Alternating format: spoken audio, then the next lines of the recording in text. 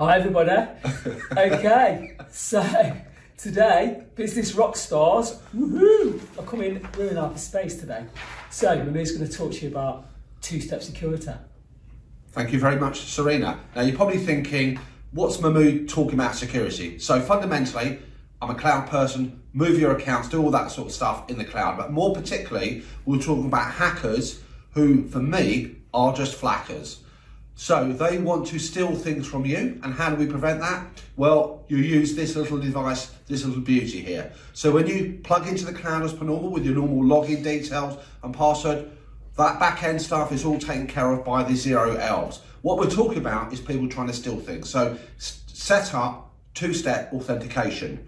Piece of cake to sort it out, get a little bit of that, plug in as per normal, it generates a little number, type it in, and you've got much more security there and those little flackers will go elsewhere. Thank you very much.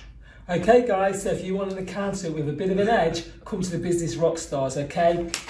This is the number. Call us. Ciao.